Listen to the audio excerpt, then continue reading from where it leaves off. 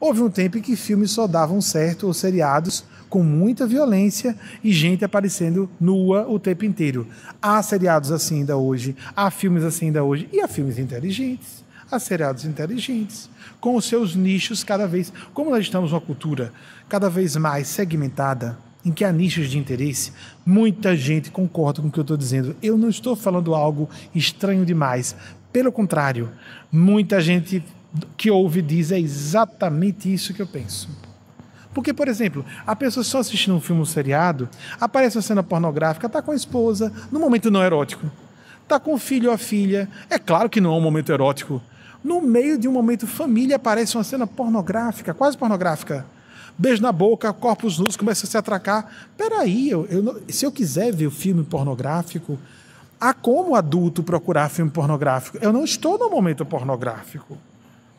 Muita gente pensa e sente dessa forma e age assim no dia a dia. E hoje há caminhos para isso. A pessoa já sabe, esse canal de TV não tem isso, esse seriado não tem isso, e vai começando a segmentar seus interesses e a fazer suas escolhas.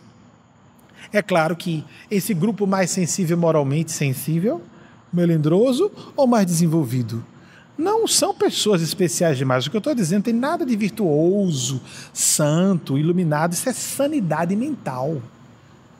Tem pessoas, por exemplo, muito sexuais que gostam muito de filme pornográfico e não admitem de jeito nenhum assistir filme pornográfico ou qualquer insinuação, qualquer insinuação erótica com filhos presentes ou outras pessoas que não sejam um parceiro ou uma parceira sexual não significa sublimou, ah, a pessoa não está, está além disso. Não, é uma questão de bom senso, de saber raciocinar e colocar as coisas no lugar certo, as coisas nos lugares certos.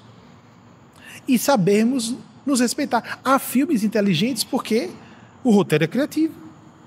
Ou seja, mais inteligente para conseguir audiência. Ah, então vai ter sempre a massa, a maior parte da população, a média evolutiva, vai estar na bagaçada normalmente a bagaçada da nossa época, porque a bagaçada de hoje não é a bagaçada de ontem. A bagaçada de 17 séculos atrás era, por exemplo, assistirmos pessoas sendo devoradas por feras famélicas. E nós poderíamos estar lá. Mata, sangra! E esperava César amorosamente, misericordiosamente, generosamente esperava que a multidão sugerisse porque ele levantava a mão para vocês se lembram isso nos filmes é verdade, aconteceu isso é histórico. Ele estendia a mão, aí às vezes a multidão pedia: bota, mata, o gladiador mate o outro, então solta a fera em cima. Geralmente essa questão do sinal do dedo, isso que a gente usa muito hoje, veio de César, né?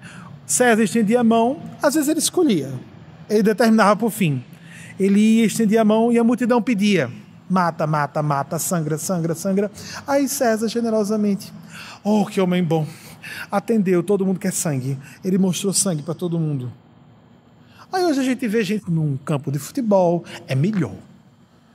Não é mais maldade, é uma competição regrada, a coisa melhorou muito. Que beleza que haja mais futebolistas. Que haja mais gente. Eu tenho vários amigos que gostam de filme de violência ou de joguinhos de violência. Pronto, ali não está matando e machucando ninguém de verdade canaliza sua necessidade, o seu desejo animal, egóico, o que for, todos os seus problemas, para na vida real não fazer maldade mesmo com as pessoas. Não ser cruel, não ser perverso com as pessoas. Então, se nós reconhecemos primeiro quais são nossas reais necessidades, qual é a nossa natureza hoje nessa encarnação, nós podemos gerenciar melhor nossas vidas mentais. Para canalizar a energia negativa não, vou usar a minha energia agressiva na atividade física. Ou oh, beleza, você consegue canalizar tudo aí? Ótimo. Vou canalizar a minha energia agressiva agora para um trabalho competitivo nos negócios ou no meio acadêmico. Nosso time vai vencer aquela, aquele outro grupo aquela outra equipe, nós vamos vencer. Aí aquela energia de guerra. Nossa, assim você consegue. Não precisa de um joguinho de violência, não precisa explodir. Tem gente que precisa de, é, virtualmente explodir cabeça de gente.